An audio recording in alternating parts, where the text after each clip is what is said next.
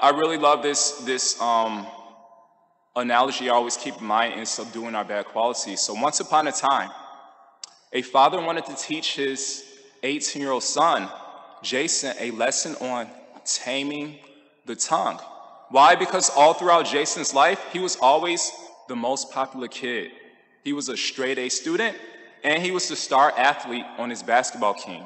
Consequently, Jason became very proud by thinking, I can say anything to anyone and get away with it.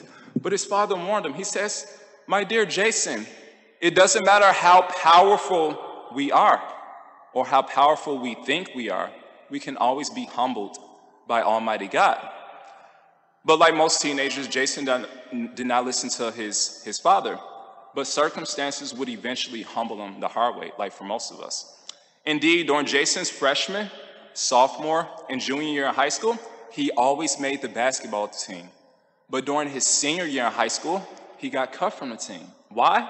Because his best friend Eric told him that the new basketball coach for his senior year was the father of one of the students he bullied all throughout high school.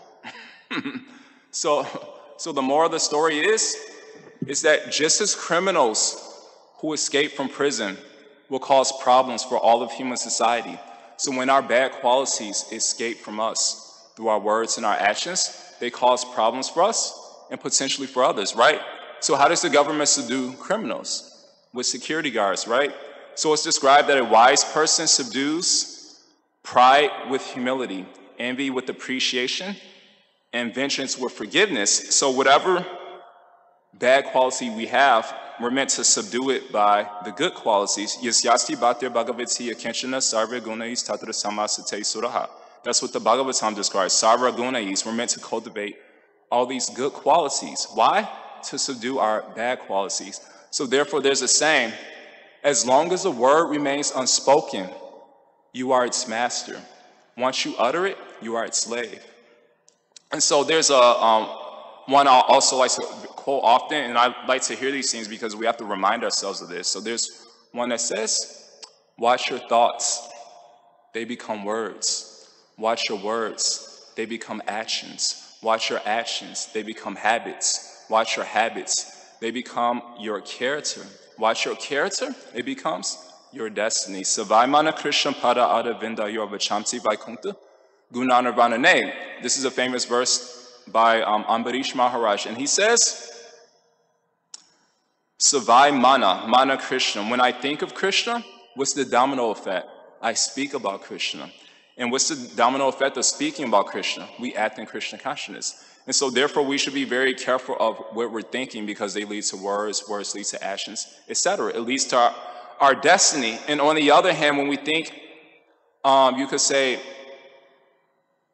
negative thoughts, then what's the result? Pranashati. Dhyayato vishayam pumsa sangase shubhajayate sangat sanjayate kamaha kama krodo bijayate kroda bhavati samoha samoha shiti vibramaha shiti bramsha buddhinasho buddhinasha pranashati. The Gita, this is a very famous verse from the, um, chapter 2, verse 62 through 63. It says, while contemplating the objects of the senses. And what is that? Nadanam najanam, I want more followers than others. So what happens if somebody gets more followers than you, more subscribers than you, more likes than you, more retweets? So we're actually conditioned in this age to put ourselves above others. So what happens when somebody gets more followers? You're contemplating the objects of the senses, even if it's a subtle object. And what is that subtle object? Fame. So what happens when other people get more fame than you? Then the Gita says, krodha, anger arises. From anger, delusion. From delusion, bewilderment of memory. When memory is bewildered, intelligence is lost. And when intelligence is lost, we do things that we'll very much regret, actually. So, so that's the conclusion that we should be very mindful of what we're thinking.